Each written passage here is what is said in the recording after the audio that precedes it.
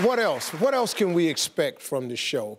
Yeah, you know, if you're gonna do the show, you gotta almost, you gotta go all in. So you gotta, you gotta expose yourself to a lot of different things. And, you know, one of the aspects of it is with four kids, finding that romantic time, that intimacy time. Yeah. And um, there's some creative ways that we find those moments, Steve, I should say. Oh, well, this is gonna be a hell of a yeah, show. those Yeah. moments. Oh, okay. Oh, Yes. okay. We gotta Oh, well, we gonna Yeah. tune in for this. take a little, take little trips, take little trips in the Yeah. minivan, and you know, The minivan Huh? will have a whole new meaning to a lot of people. Trip to the minivan. a trips in the minivan.